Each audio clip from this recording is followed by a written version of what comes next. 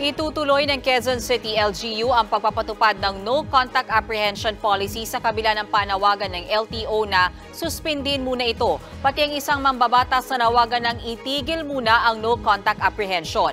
Isinusulong din ang pagdaraos ng House Inquiry ukol dito. Nasa frontline ng balitang yan si Faith Del Mundo. Pabigat ang tingin ng ilang motorista sa no contact apprehension policy na ipinapatupad ng ilang LGU. Gaya na lang ni Michael Rural na pinagbulta ng 2,000 piso dahil sa overspeeding violation. imbis na pang pang budget mo na yun sa pami, sa family ibabayad mo doon sa ano lalo na sa kagaya namin na nagtatrabaho din po Depensa ni Michael, hindi naman niya alam na may speed limit pala sa kalsadang dinadaanan niya. Nangangamba naman si Jemmy Poraso na magpaparenew na ng rehistro sa kanyang motor sa susunod na linggo. Baka raw kasi may violation siya na hindi niya alam. Kawawa kami, eh, mabuti sana kung mura lang, ang mahal pala nun. Eh, eh katulad ng hindi ka naman pwede mga tuwiran doon dahil kung ano, nakakamira ka na. Wala na, babayaran mo na. Nakahanap naman ng kakampi ang mga motorista kay Surigao del Norte Congressman Robert Ace Barbers na nanawagan siyang suspindihin muna ang pagpapatupad ng no contact apprehension hanggat hindi pa nare-resolba ang mga isyu nito. The NCAP implementation gave rise to more questions than answers. It took a life of its own and became a problem by itself, an additional burden and a source of corruption institutionalized by the state.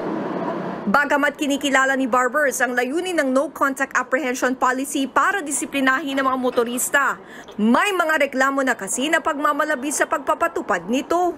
Umapela rin ang LTO sa mga LGU na suspindihin ng NCAP. tila ho may kakulangan po doon sa policy.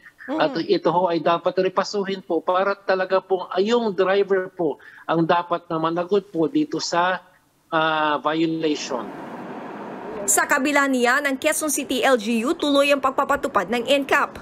May nakikita raw kasi silang magandang epekto nito.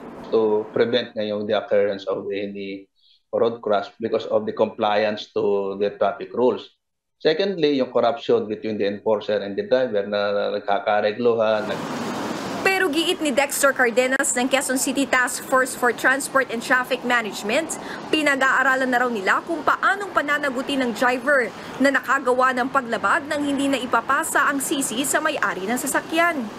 Yan din ang nakitang problema ng Lawyers for Commuter Safety and Protection.